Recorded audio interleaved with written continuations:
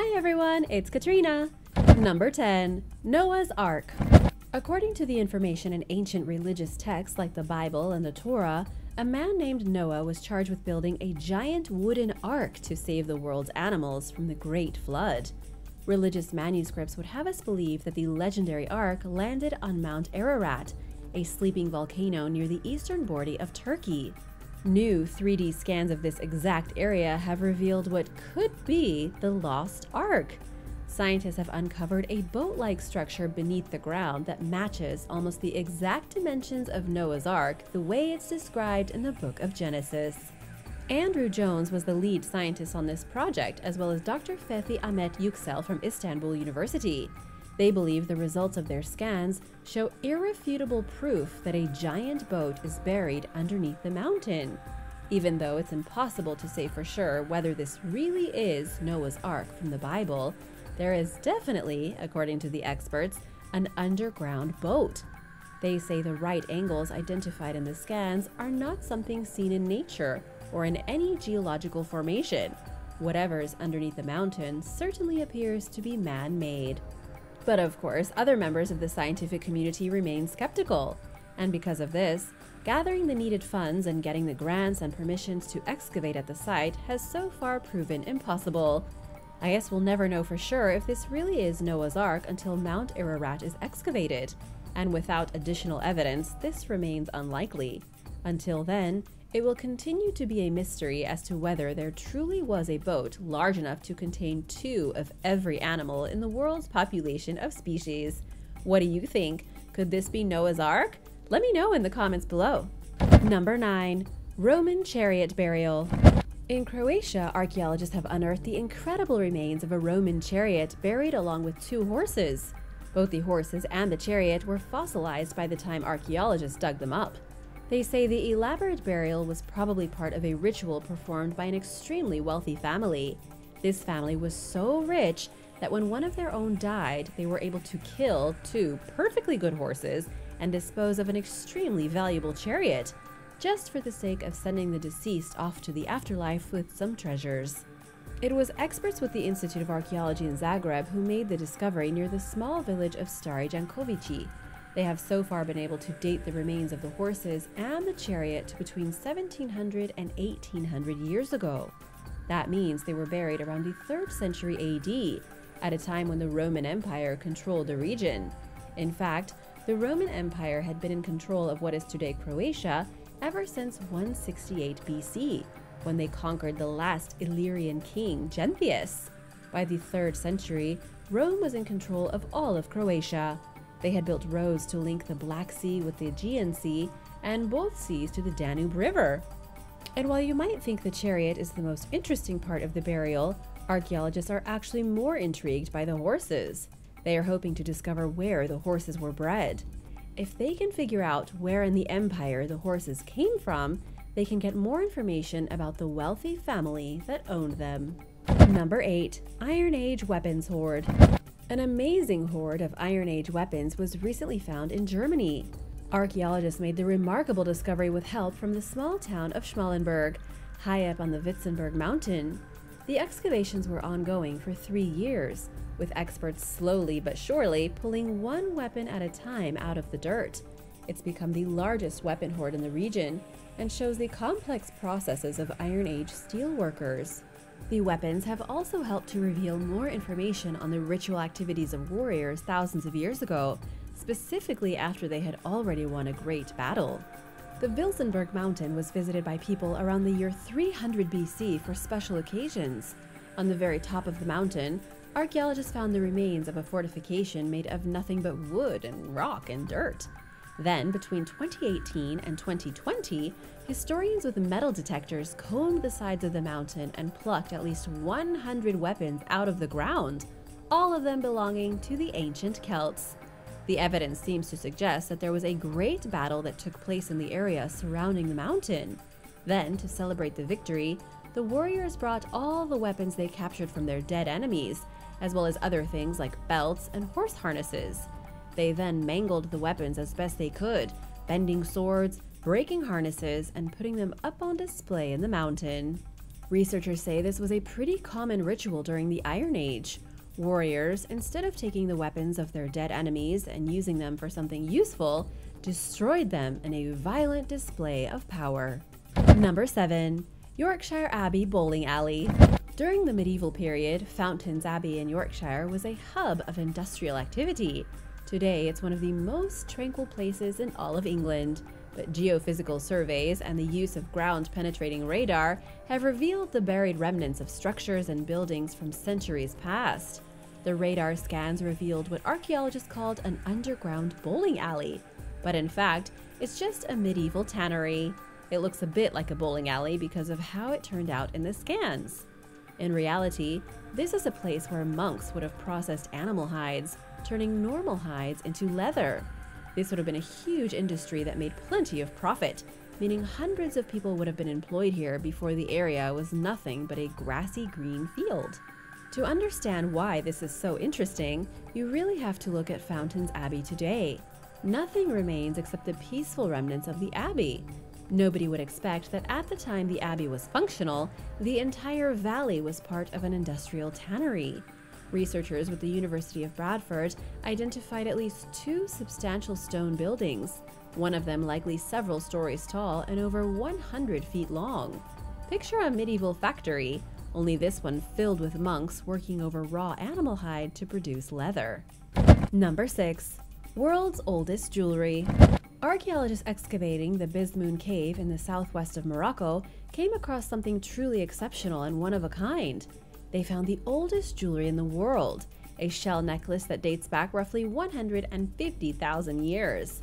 The necklace was once composed of approximately 33 shell beads, worked from being normal shells into cute baubles befitting a necklace. This is without a doubt the very oldest singular piece of jewelry ever worn by a human being, at least the oldest that scientists have been able to find. But just who were these people making shell necklaces while Homo sapiens were still living in caves? This was 140,000 years before the first city on Earth began to even take shape.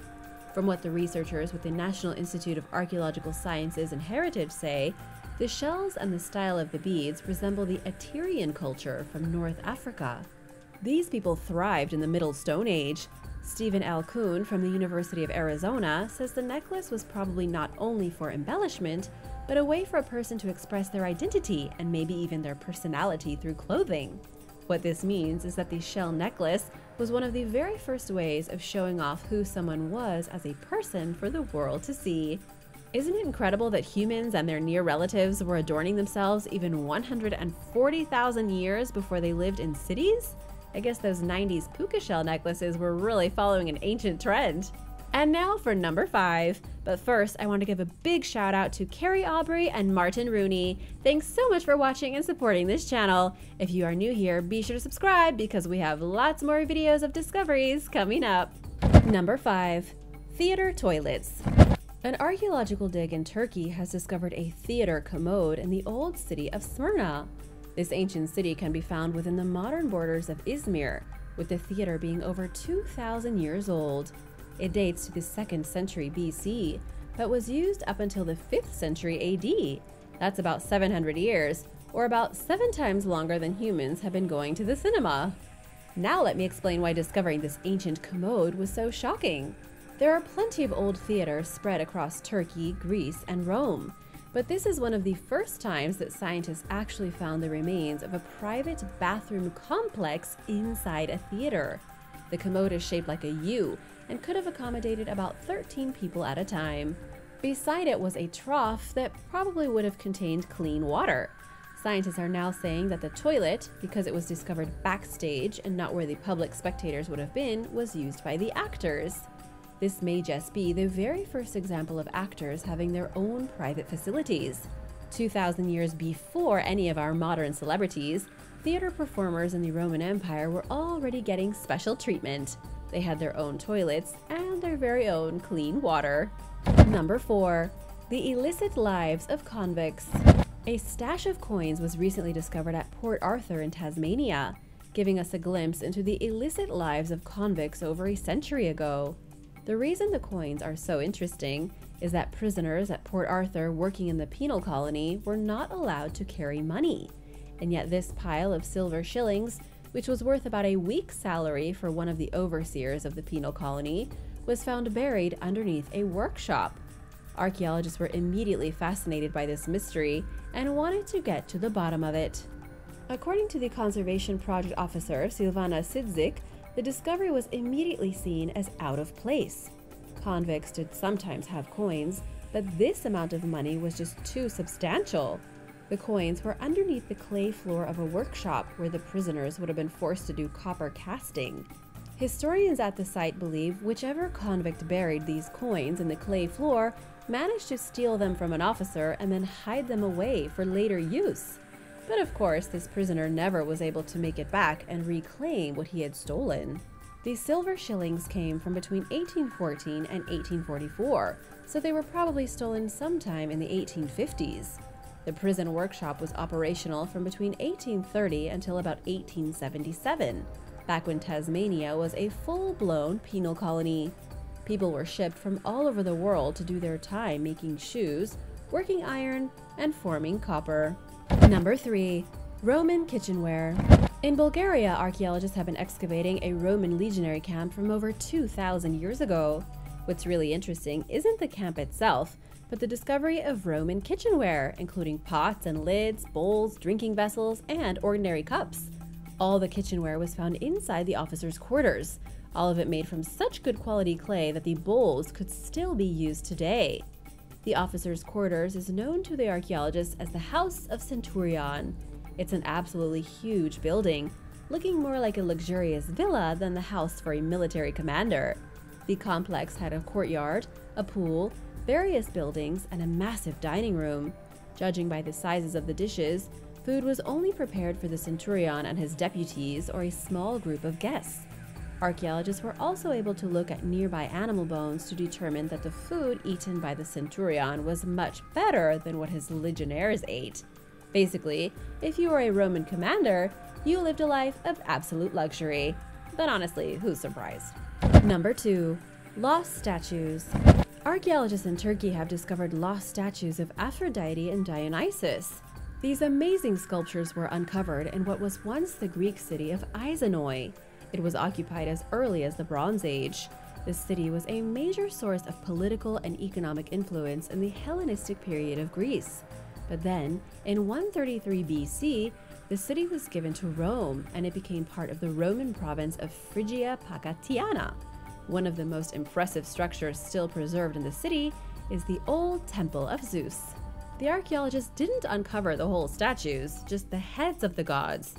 Aphrodite was the Greek goddess of love and beauty, while Dionysus was the god of wine, feasting, and ritual madness. They were pivotal figures in Greek religion and myth. The reason it's so interesting that the statues were found here is that it shows how the Romans continued to worship Greek gods, even if they did change their names long after they took over their cities. Considering the incredible parallels between Greek and Roman mythologies, this makes perfect sense. Number 1 the Falkland Islands wolf. Archaeologists working in the Falkland Islands have discovered evidence that humans made their way to this remote archipelago about 1,070 years ago. Even more interesting, evidence shows that these visitors may have brought fox like creatures with them, known as warrah. These creatures are what we know of today as the extinct Falkland Islands wolves. For a long time, scientists have been debating how the only land mammal here made it across the ocean the two theories are that the wolves either reached the Falkland Islands by a land bridge or were brought over by people. But until recently, almost no evidence has been discovered of a human presence on the island prior to Europeans arriving in 1690. Now, archaeologists have found traces of ancient fires and the remains of animals that had been hunted over 1,000 years ago. From what they can tell, the Falkland Islands were inhabited by the Yagan people, which were ancient seafarers. This evidence comes in the form of charcoal levels in sediment, showing that humans were building fires from between 1070 and 620 years ago. That's much earlier than the traces of European fires found from roughly 250 years ago. Plus, archaeologists found huge piles of the remains of sea lions and penguins. These animals were killed before Europeans hunted them to extinction in 1875. But the real mystery is that researchers have identified teeth from the Falkland Islands wolf that date back 3,860 years. That leaves a 2,000 year gap between the wolves and the humans. It's impossible to say now whether humans visited earlier and brought these wolves with them, or if the wolves had somehow made their way to the extremely remote archipelago by themselves, perhaps by a thin strip of land that is now buried under the ocean. Thanks for watching! Which of these incredible archaeological discoveries did you find the most fascinating? The coin stashes, the ancient toilets, mysterious wolves? Let me know in the comments below. And remember to subscribe if you haven't already. See you soon. Bye!